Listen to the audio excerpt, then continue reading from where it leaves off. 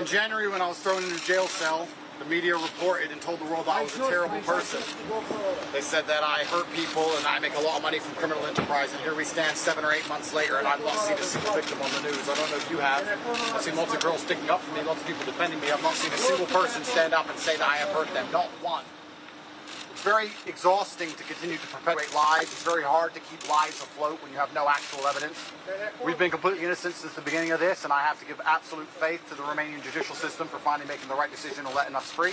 I'm sure in the end we'll be absolutely exonerated, and everybody who was pushing these lies and reporting things on repeat without any substantial evidence are going to have to analyze within themselves why they decide to try and destroy people's lives purely for views. I've done nothing wrong. God knows I've done nothing wrong. In my heart, I know I've done nothing wrong. I think the people at home who with a functioning brain understand we've done nothing wrong because nobody has yet to identify a single victim which is done, which is saying that we've done anything to them since the beginning of this entire process. Once again, absolute respect to the judge, respect to Romania, respect to the Romanian judicial system. I look forward to being completely exonerated in due time. Thank you.